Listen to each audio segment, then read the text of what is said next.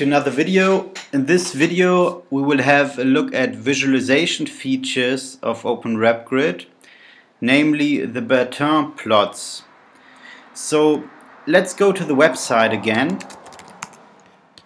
and I will start at the documentation website for OpenRepGrid and I will have a look at features and scroll down to the visualization features and there we have two visualization features currently Bertin displays and biplots Bertin displays I will have a click on it is a way to visualize values in a way that it's more intuitive or more appealing and easier to understand and see patterns and structures in data.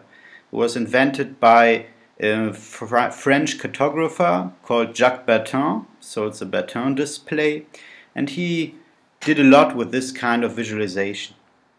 So how do we do that? Let's go back to RStudio, or let's open RStudio, and as always we have to type library, library OpenRepGrid in order to load the package if we want to work with it. So the next step is to do a Bertin plot of it. Here is the code. It's, the function is just called Bertin. As we've seen in another video, there are a couple of data sets OpenRepGrid already has or comes along with, and one of them is called Böker, the Böker data set, which looks like like this. Let's make it a bit bigger here.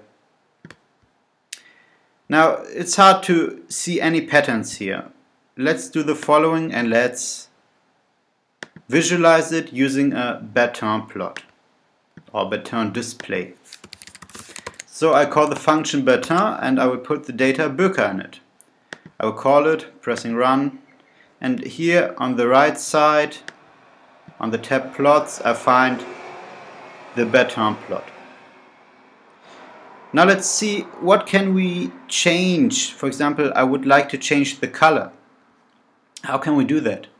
We look at the help file for uh, the Bertin by pressing F1 if you're on Windows or function F1, so the well F1 if you're on Mac OS, and the according help file will open down here.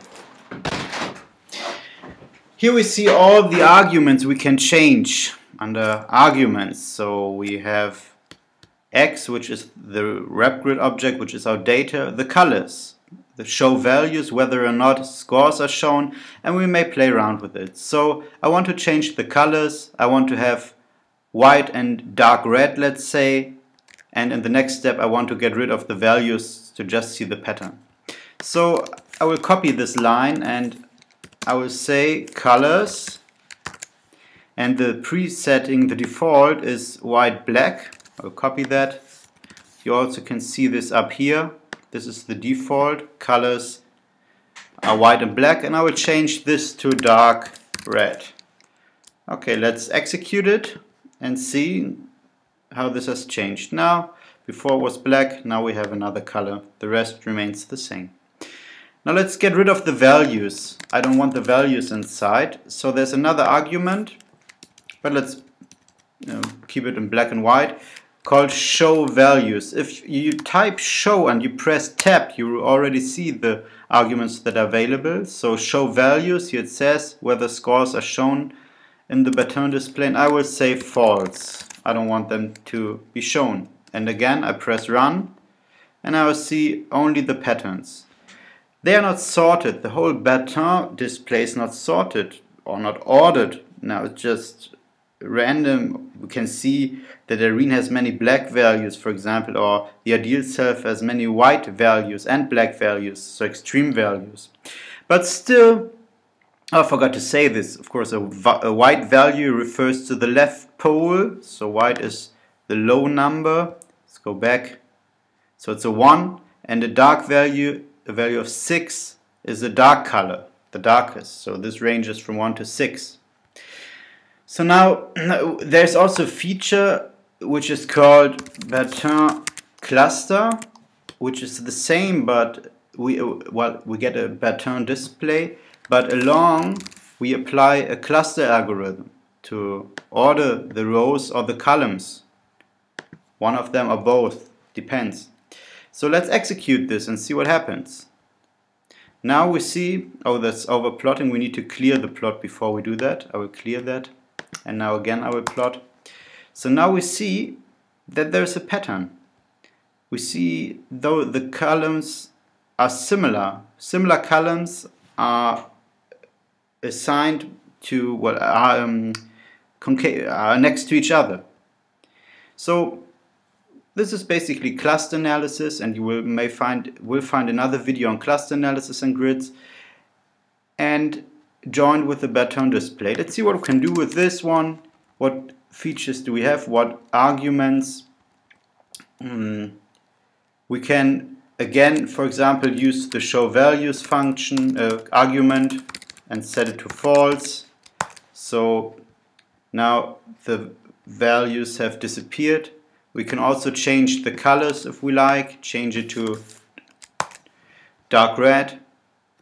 And we might may change other things. I will copy the line again and have a look at the, uh, the help file again pressing F1 and here you see the arguments, so quite a lot. We can change the distance method for the clustering.